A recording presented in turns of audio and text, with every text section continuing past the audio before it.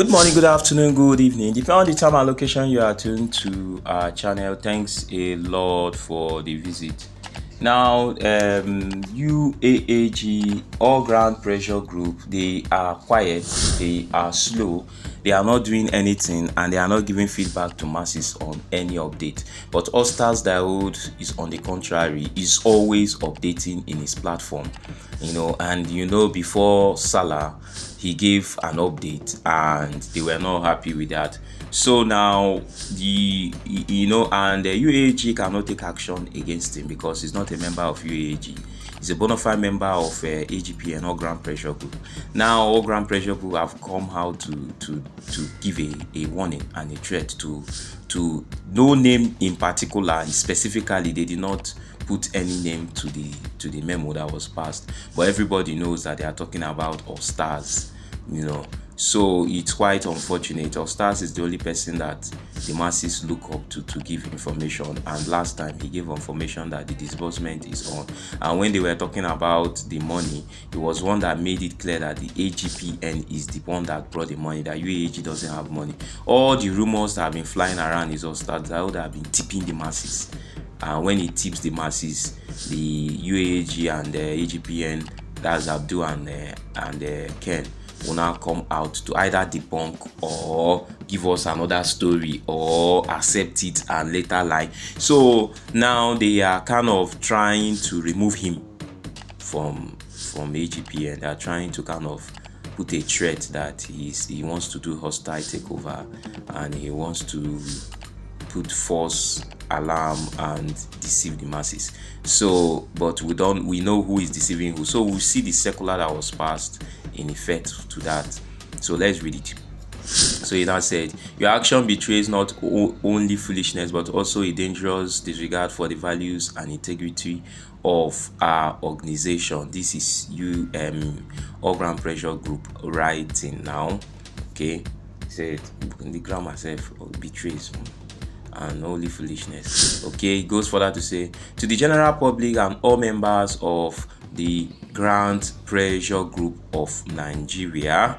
So this is them. They are addressing the general public and addressing the member also members of all Grand Pressure Group.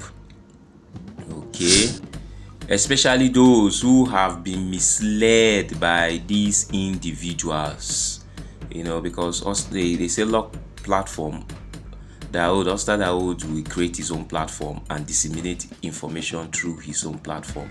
So they are now kind of saying it.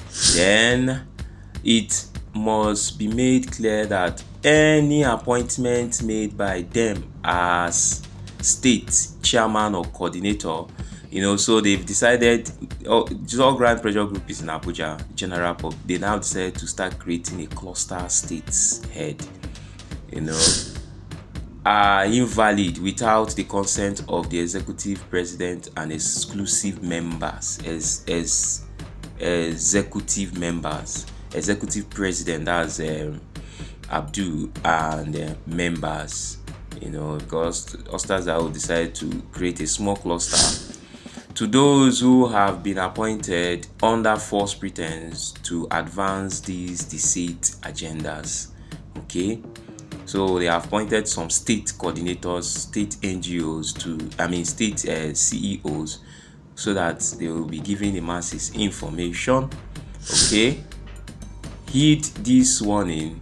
The time will come when you will be held accountable you know and how would they hold them accountable? By trying to make sure that their name doesn't come out in a, in a, it's just a threat. It's a threat you know.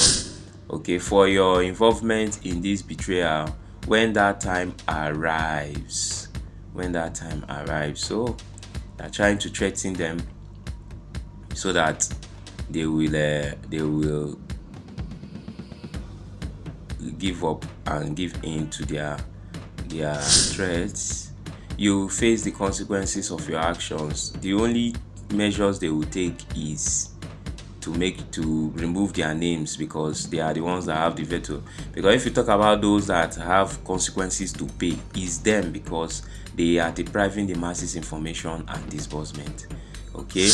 You say betrayal and deceit will not be tolerated within the organization i guess so you know they are not moving forward. So these people decided to do hostile takeover at least to create a body that will be giving the masses information.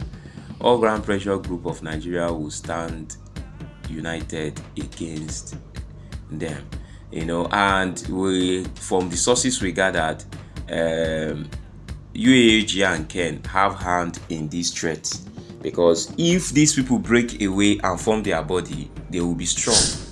All ground pressure group of nigeria will stand against them. So they will be strong. So ken and his cohorts have pushed uh, german machine but we wonder why german machine allowed himself to be pushed and be used. This is quite unfortunate. It's extremely extremely unfortunate. Because this this this they've been quiet for so long. And mind you this money that was gotten is not uaag money. It's all ground pressure group that source for the money. The money that uaag is sourcing for we have not heard anything about it. Whether they have the money they don't have the money we don't know. Uh, so such actions and will not be engaged in them they will face the consequences you know which consequences to remove them. So guys that's the the the information that is flying now and that's the memo that was released that some some members are trying to do hostile takeover. Yeah you know they've tried it in uh, uaag they've tried it in UAG to try to push the executives to to remove ken you know so some people were afraid that if ken is removed the next person will come would will, will start the, the the whole format again. So they said no let us leave ken because it's safer for us as in, according to what they said it's safer for them if they leave ken. And uh, he would continue doing this. But and ken immediately came out and told them that his government that is holding the disbursement that disbursement is imminent within 24 hours if they get uh, the mandate from the the government. So guys that's the recent update now. We'll keep you updated on any recent happening and any thing that unfolds. So guys thanks a lot for discussing our channel. We appreciate. We pray our ultimate prayer is that since they're giving us the mandate that next week is is is when the disbursement will come. Let's keep our fingers crossed and leave our hopes high that next week we'll get the disbursement. Thanks guys let's pray hard. And not only pray let's do some work by by sharing any information any information we have so that information is power. When we have information these people can turn around with us. See you on the other side. Bye for now